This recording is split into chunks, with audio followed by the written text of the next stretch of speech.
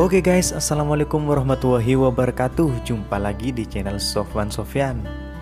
Nah di video kali ini saya akan membahas tentang sejarah sapi anak selor. Mungkin dari sebagian teman-teman semua belum mengetahui dari mana sih sapi anak selor ini berasal.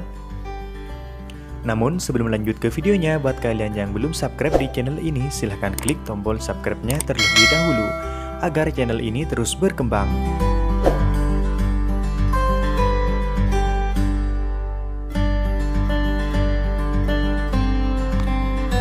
Oh ya guys, pada tahun 2020, anak selor ini sering menjuarai di ajang perlombaan dan sudah mendapatkan beberapa mobil. Di antaranya pada Ultah Gagak Rimang. Anak selor ini keluar sebagai juaranya dan berhasil mendapatkan satu buah mobil dan juga masih banyak prestasi yang lainnya loh. Kabarnya anak selor ini sudah mencapai tawaran 800 juta loh guys.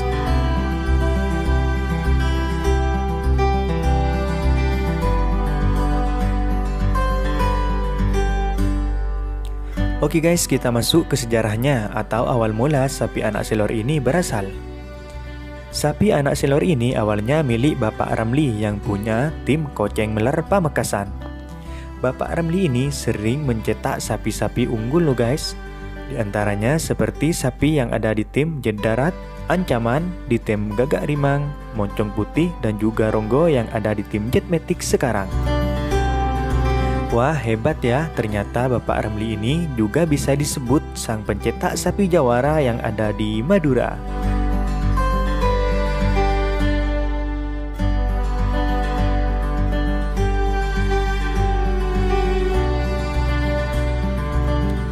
Mungkin itu dia guys sedikit sejarah singkat tentang sapi anak selor ini. Apabila ada salah kata dari saya, saya mohon maaf ya guys. Wassalamualaikum warahmatullahi wabarakatuh. Salam karapan sapi Madura.